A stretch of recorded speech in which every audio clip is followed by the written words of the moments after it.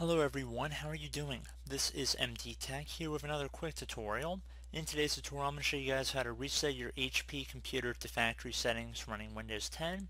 So hopefully this should be a pretty straightforward tutorial for you guys today and without further ado let's jump right into it. So we're going to begin by opening up the start menu just by left clicking on the start button one time and into the start menu you want to type in reset Best match after you type in reset should come back with reset this PC. You might have to give the start menu a second to load. It should come up right above system settings. Just left click on that to open up the settings window you see on my screen right now. Now on the right side underneath recovery, reset this PC. If your PC isn't running well, resetting it might help. Up to you choose to keep your personal files or remove them and then reinstalls Windows. Left click on the get started button right here. So we're going to have two options, either keep your files, switch or remove apps and settings, but apparently we'll keep your personal files. Now I would personally recommend that you do create a backup to an external media source, like a USB flash drive or CD or DVD, if you do choose to go that route. However, I'm going to be doing a complete factory reset for this computer, so we'll remove all of our personal files, apps, and settings. So I'm going to select that for this tutorial here.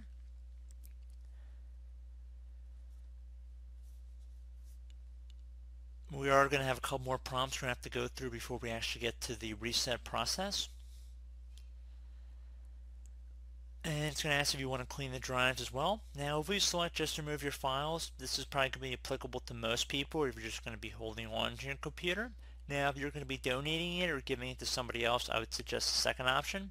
However, like I said, most people the first option is the one to go with, just remove my files, and it should be a little bit quicker as well. And our final prompt will just have to be to confirm that we are ready to reset this computer, which will remove all of the personal files and user accounts on this PC, all apps and programs, and any changes made to settings. This will take a while and your PC will restart. Left click on the reset button here to begin this process. It will take some time, and I will jump back in on the narration when I deem it's appropriate. So hang tight guys, just let this tool run and I will be back in a little bit.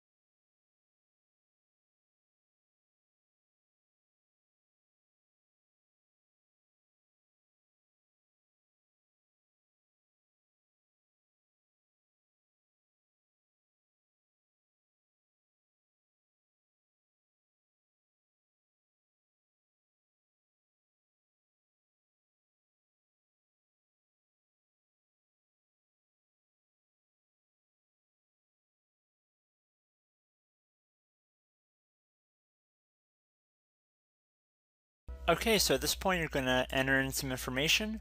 You're going to enter your country, preferred language, keyboard layout, and what time zone you're in.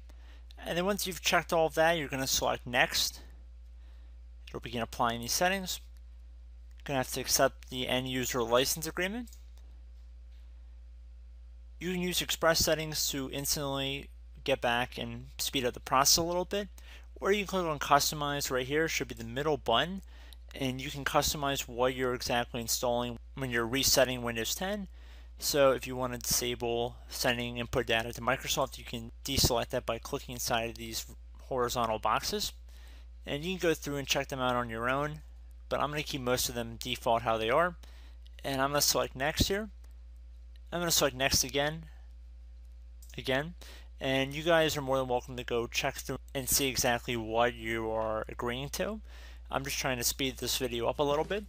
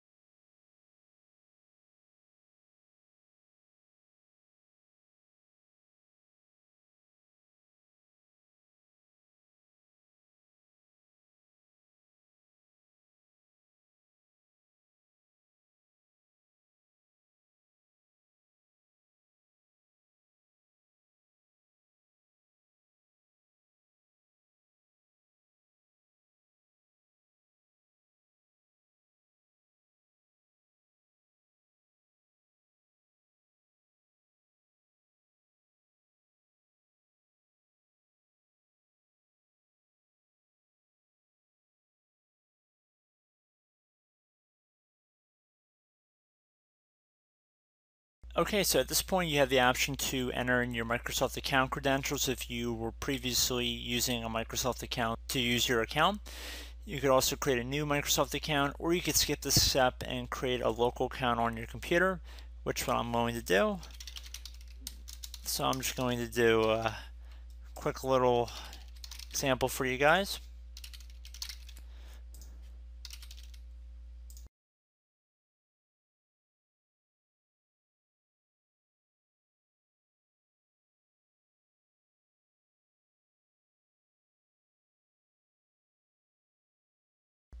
I am not going to enable Cortana, so I'm going to select not now.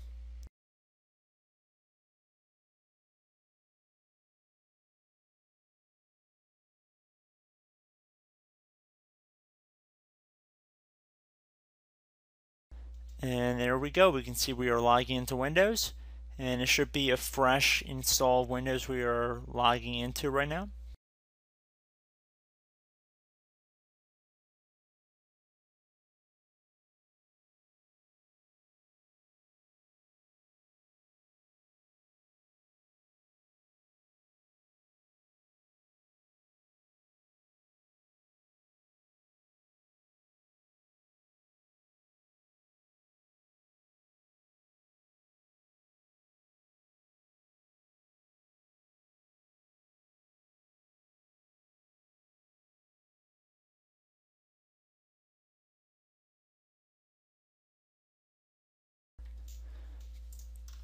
Okay, so we actually have an update waiting, but I'm not going to select that, so I'm going to do not now, bottom left. Okay guys, I'm back. So our HP computer should have been reset to factory settings this time. I would recommend putting all your applications back on your computer that you wanted to once you had your computer in the state.